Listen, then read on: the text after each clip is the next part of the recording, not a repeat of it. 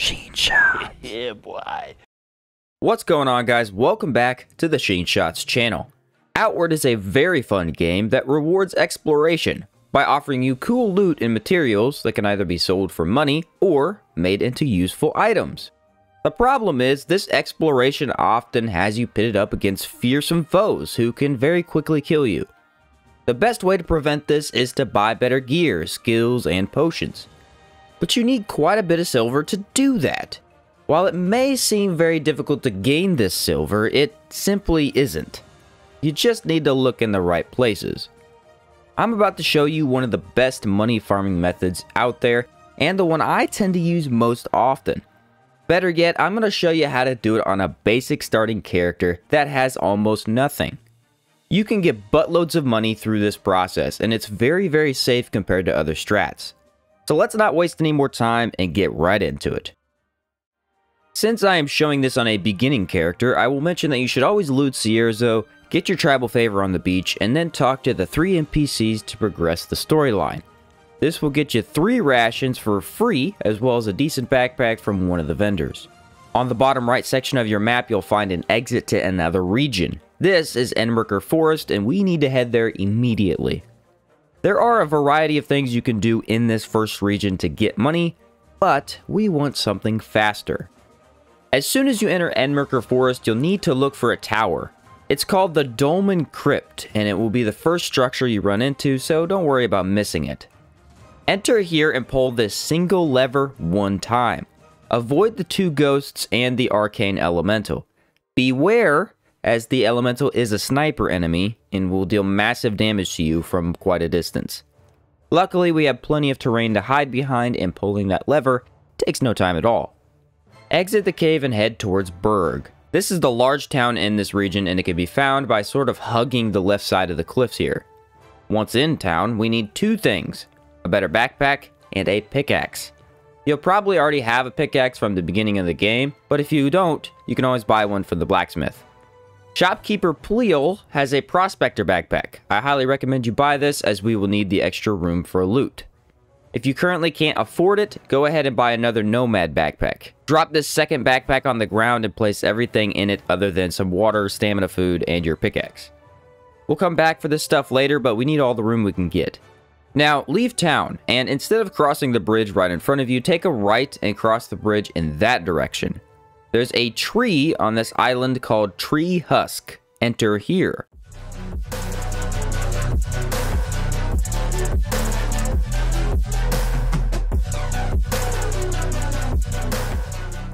Now, there are two enemies in this cave. If you walk forward, you may be able to get the bug on the top to move down and fight the beast golem.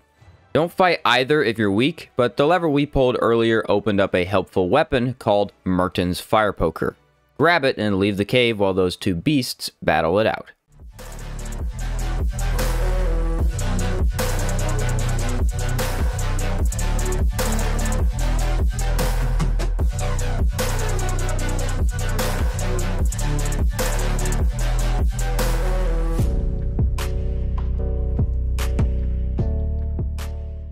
Next, we will head up towards the Cabal of Wind Temple.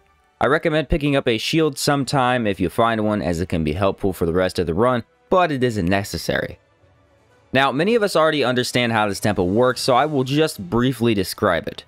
Avoid the Immaculate at the entrance, and once inside there will be a large pit area. There's a lever here which when pulled twice explodes everything inside. So the idea is we gain the enemy's attention and bring them into the middle. Pull the lever and everything dies. Easy peasy. What we're looking for here are a few things. Four shell horrors and one unique enemy guard this place. Killing all of them opens a yellow barrier, which grants an expensive item as well as an ornate chest. Killing shell horrors also gives us chitin and ghost eyes, which we will need later. Smaller horrors also wander around this place, and there are a crap ton of them. These guys play medium range and will seem to not follow you. As long as you gain their attention at some point, they will eventually wander into the middle arena. Just play this carefully and deal with one enemy at a time if you have to. There's one shell horror in the middle upon entering the dungeon, one in the right side, and two in the back. One of the horrors in the back is actually above an elevator. Luckily, you can block his attacks and he'll follow you down, letting you still kill him in the pit. This shell horror can actually fall off of the window you see him from the other side, but that is either rare or only possible with the bow. The elevator trick is quite simple to do if you block.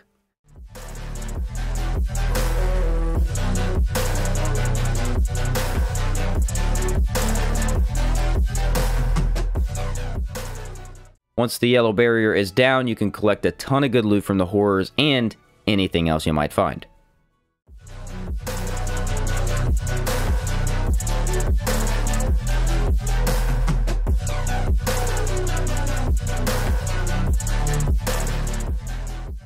Exit the dungeon and take a right. There's a small structure over here which has one palladium vein. Mine it as we need multiple pieces of palladium for later.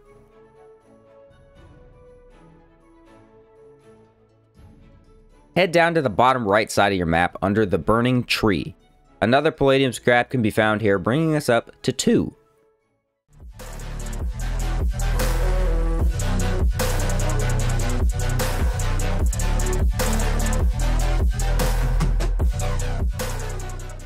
Also in this location, we have the Hive Men.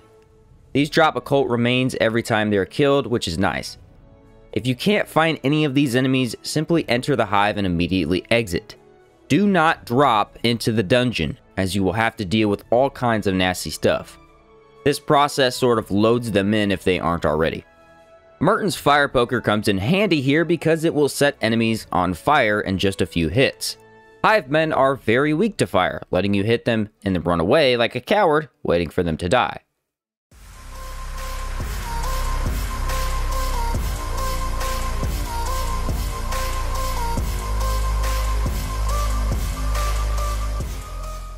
kill at least two of these guys and head back to Berg. On your way back, there is another palladium vein on the side of a cliff. This vein's location is a bit harder to describe, but you'll be able to see another part of the hive structure from here to give you some sort of reference. Once in Berg, we need to craft some weapons. Two-handed fang weapons can be crafted with an iron weapon, two predator bones, and one linen cloth. You'll have a good amount of money from selling the weapon and loot from the ornate chest earlier, so that should not be a problem here. We need four Fang weapons in total. It doesn't matter which ones you craft as long as they're the two-handed. One-handed weapons sell for much less. Now take the Fang weapons and craft them with one Horror Chitin, one Occult Remains, and one Palladium Scrap. This gets you Horror weapons, which make us a ton of money. This is essentially the strategy here. Horror weapons sell for a lot and are very easy to craft in this fashion, but we don't want to sell them here. And since we only have two occult remains, we can't even make more than two right now anyway.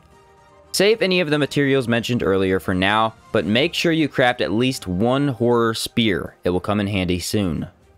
Also, do not sell the ghost eyes. Ever. Again, we need those for later. Make sure you have four rations and leave Enmerkar Forest and head out into the desert. The Abrassar Desert is nuts and a great place to make money. First, we need a few more materials, so hug that right side there until you reach more hives. Three bugmen or walking hive are usually wandering around in this canyon. You need to kill all three for more occult remains. Luckily, they're also weak to poison, and the horror spear we just crafted applies extreme poison. So it eats away at these guys quickly, and the spear is very long, letting you stay safe. At this point, we will have collected a total of 5 occult remains and are good to move on. After leaving this canyon, we continue to hug the right, we grab one palladium vein, and then find ourselves up against the Scourge enemies again. Kill the little dudes quickly, as the spear is an amazing weapon to have so early in the game.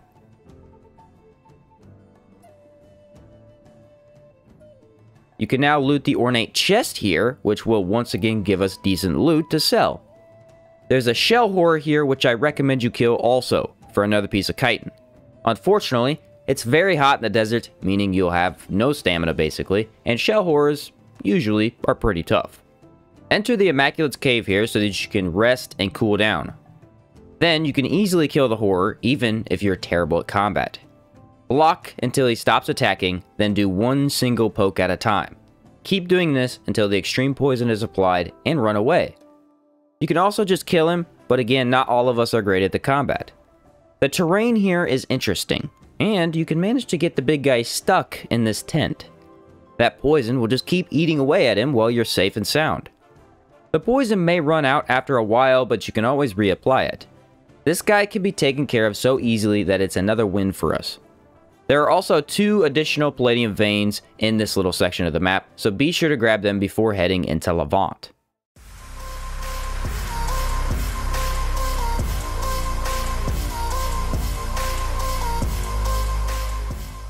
Now that we've made it to town, you're free to sell the loot you've earned and craft as many horror weapons as possible. This will earn you quite a bit of gold, and this strategy can be repeated over and over throughout the game. Enemies respawn after 7 days spent outside a region, so you could earn a lot of money doing this. Levant is also the only place you should be selling these horror weapons because the price is much higher here. So at this point, you should have a really nice amount of silver and gold. Fortunately, that was only step one of this guide, and we haven't even finished it up yet. Still, don't sell those ghost eyes, and make sure you have at least 250 silver. Buy all the pressure plates from the engineer here and head into the slums. Styx can teach you to use pressure plate traps for 50 silver, so don't forget to pick that up. Also, give Pigeon Eye, the man up on the building here, 200 silver. This will open up a chest that contains decent loot. You can craft another horror weapon from the iron spear in this chest, making the 200 silver way worth it.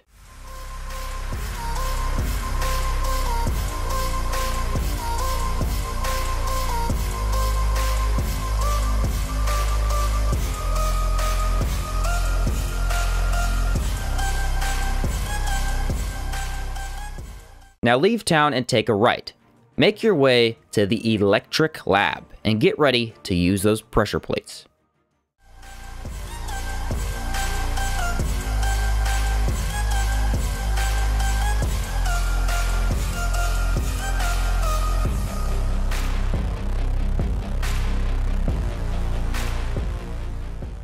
Now, the electric lab is set up as a sort of puzzle, but luckily your pal Sheen Shots has it solved for you and will make it super, super simple.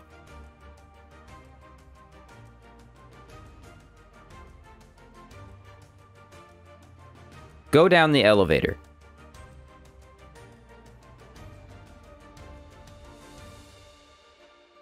Get off and pull this lever.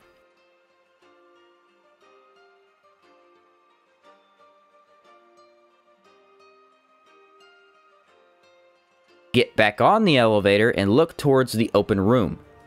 Pull the lever and dodge forwards into a secret area. We need something here, but beware. A beast golem guards the ramp and will kill you quickly.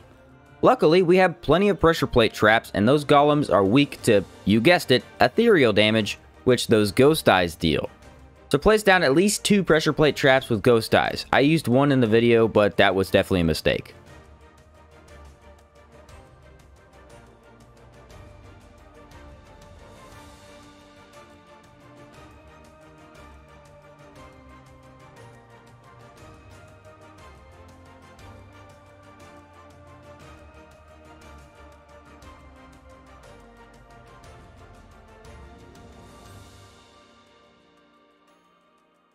Now be careful in the next room after this guy's dead, as there's a trap on the top of the stairs.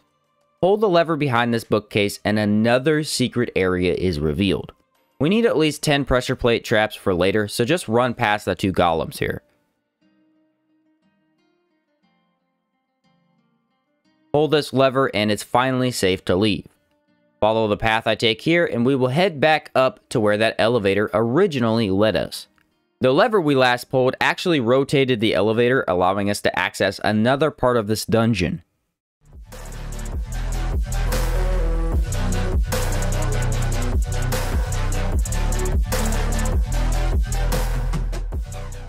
Run past the golems here and go up that elevator, not before grabbing the palladium scrap.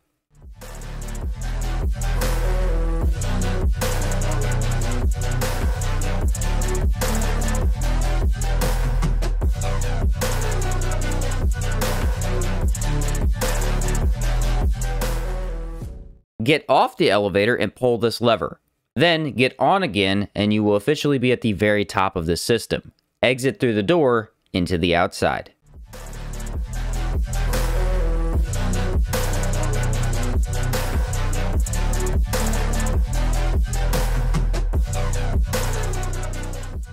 Here you will find three powerful sword golems that have been upgraded. These three are wearing headgear that disrupts a magical contraption in this area. Killing them will grant us access to that magical contraption.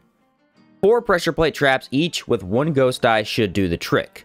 Otherwise, these guys are very tough. They deal a lot of impact and even with a shield, I was still not able to stand there for long. But as long as you use four pressure plate traps with ghost eyes, you'll have no trouble at all. One golem spawns near the entrance and two more spawn in the very back end of the area here. They're spread apart so you shouldn't have to fight more than one at a time.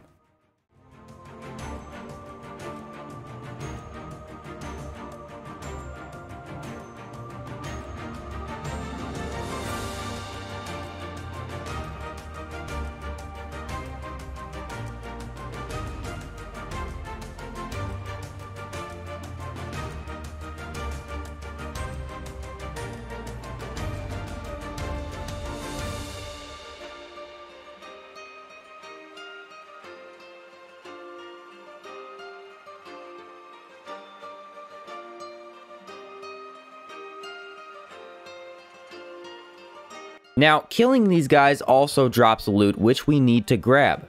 Each of them will drop a broken rapier. Take two of these and craft them with a crystal powder and a palladium scrap. At this point, we have plenty of palladium, and the crystal powder drops from, well, these guys. This gives you a golem rapier, which will sell nicely back in town. Also, grab the Whirlig Spear. It sells for 900 but is unique and will not respawn.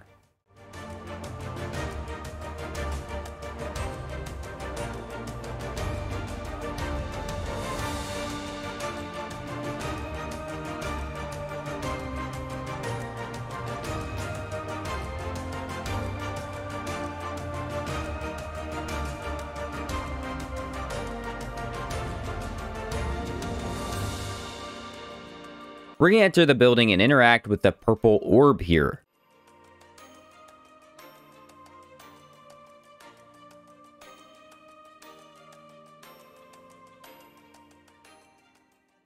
Exit outside once again and the ornate chest farm will be unlocked. This is a series of ornate chests that were locked up quite a while ago. One of them is right in this area, but the rest are scattered around the desert. This one also offers a Sar Stone, which is very, very rare. Ornate chests often drop very expensive loot, and five of them will grant you some decent money. I'm going to show you the exact path I take to get all five, but be aware this stuff gets really heavy. Mefino's trade backpack is always the best for money farming, but otherwise, make a stop in town before attempting this. These ornate chests will have loot respawn in them after area reset, which means you need to spend 7 days outside the region just like the horror weapon farm. So every time you come back to the desert, you can loot these again, essentially giving you an additional way to make infinite silver as you progress and outward.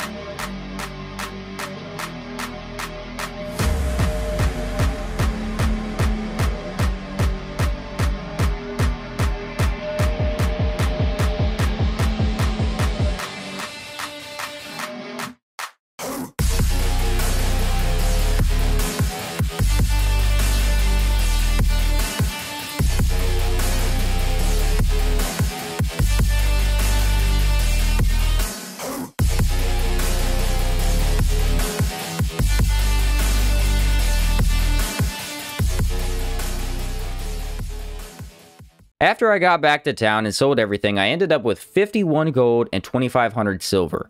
Considering this is a starting character with almost nothing, that's a crazy amount of gold. And on top of that, we put ourselves in very little danger overall. If you play your cards right, you will only take one or two hits of damage the entire run. Now, once you have all the houses bought in each town, you can save up any materials you find along the journey. Eventually, you could end up with enough materials to make multiple horror weapons without even entering the Cabal Temple. This process is extremely efficient and has us going one place to the next, getting exactly what we need. I found it to be very beneficial in my playthroughs of the game. Now, endgame content is a bit different, as you'll need lots and lots of money to build New Sirocco. This is the final quest in Outward which requires you to have already beaten your faction quest to even start it. It basically has you build a town from scratch, and while it's really cool, you need a massive amount of gold. So once you reach the end game, you can do two additional things to earn some money. Clear out caves in Caldera. The volcanic region of Outward is the richest by far. I mean, it's not even close. Every cave has multiple chests and at least one ornate chest. On top of that, Caldera drops the best selling items from these chests. So you can rack up a lot of silver by looting one cave at a time. Glass weapons are the items you'll be looking for. These sell for a crazy amount and have a high chance to drop in these ornate chests. So that's generally how I make money in endgame. But there's also something you can do with leftover particles. Elemental particles are used to enchant items and outward. You will collect many as you progress through the game, and you should save them up. Once you reach Caldera, however, you don't really need to be enchanting, as you'll probably already have that stuff done. Combine any leftover particles with Dreamer's Root to make incense. You get 4 incense per particle, and they sell well. I mean, very well. Not only that, but if you have extra tourmaline and purifying quartz, you can craft stronger incense, which sells for even more. This does not help out that much in the early game as you need particles for other things, but I earned 14 gold bars and 3100 silver from crafting these alone. Seriously, incense can make you a lot of money if you saved up a bunch of it. So that's pretty much it. The only money guide you'll ever really need to use. I usually craft horror weapons throughout my playthroughs, and once you find out where shell horrors spawn, you can craft them more often, leading to even more money. Then I do the ornate chest farm as I explore the desert, and pick up a couple good potions along the way. After that, I complete Rusted Vengeance questline, which helps get you a ton of money just from killing enemies. And finally, I head to Caldera for the town building. I enter one cave in that region at a time grab all the loot, look for samples, and then drop everything off in town. Then I head back out and do the same with each and every cave in the region. You'll find so many goodies over there that you can't complete more than a single cave without being full. But that region is also quite difficult and requires you to have a pretty set up build. So not great in the early game. And finally, I will craft more incense when I get bored from clearing the caves. This has been my go-to process and it's gotten me all the way through the game on four different builds in Definitive Edition. Which is kind of funny considering they sort of nerfed the horror weapon farm in Definitive Edition. There used to be more shell horrors in that Cabal Wind Temple. Now there's only four.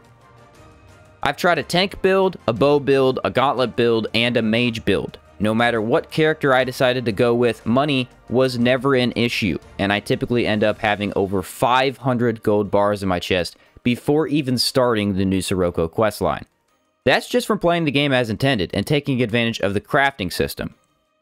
Hopefully I didn't ramble on too long for you guys, but this will pretty much be the most informative money guide you'll ever get. It shows every single step of the way just in case you feel like you can't do it. Getting silver is so so very easy in Outward, and hopefully this will help you feel the same way. Please consider hitting that like button if any of this helped you out, and I will see you next time.